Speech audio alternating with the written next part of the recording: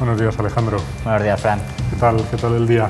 Bien, muy bien. Aquí dispuestos a hablar de Big Data, por supuesto. Sí, la verdad es que hoy es tema de conversación ya casi casi a nivel familiar. Sí, porque sale los telediarios, sale la prensa, todo el mundo habla con los datos, tiene una opinión, tiene sus preocupaciones a veces también.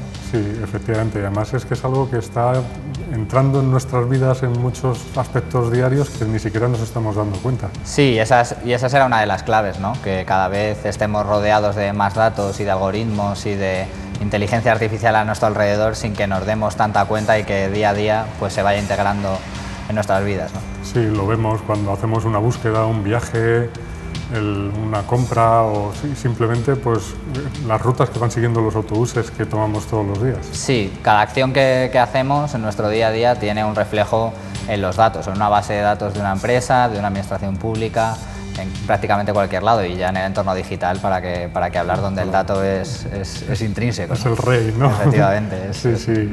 data driven por naturaleza. Sí, sí, efectivamente. Pero es verdad que además esto está trayendo mucho valor tanto al usuario como a las empresas.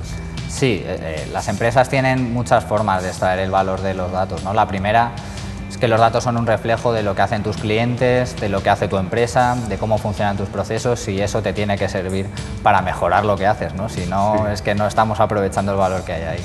Igual que estamos viendo que el Big Data se está metiendo en el día a día de nuestras vidas sin que nos demos cuenta, está aportando también un gran beneficio para las empresas, ¿verdad? Desde luego, si las empresas no sacaran valor de lo que los datos están reflejando, eh, sería porque, porque no se lo han planteado, porque realmente el dato es precisamente la traza de todo lo que sucede, ¿no? de cómo interactúan con sus usuarios y con sus clientes, de cómo desempeñan sus empleados, de todo lo que está sucediendo en la empresa se está quedando almacenado en datos. Sí, incluso nosotros, aparte del dato es interno de la empresa, el poder averiguar el comportamiento de los clientes objetivos, eh, recuperar esa información para ayudar a la toma de decisiones, resolver problemas incluso la mejora operativa, dónde voy a poner los recursos adecuados para tener a mis clientes de la forma más efectiva.